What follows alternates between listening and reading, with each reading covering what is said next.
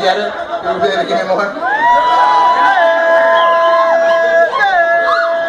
Man, so it's our album release today, and uh,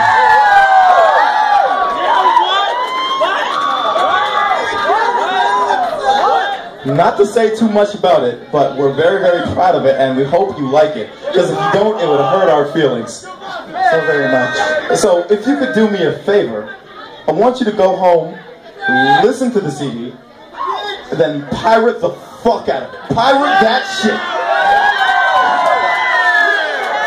But don't tell all your friends. Pirate. Tell all your friends though.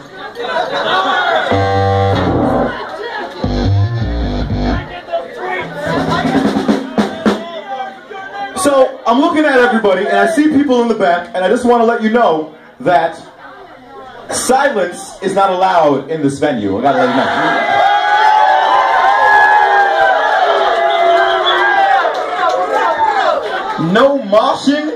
Not allowed in this venue. Also, yo, Ronson, Ronson, this is a more intimate song. You want me to just turn on all lights except for what we got here? I love you.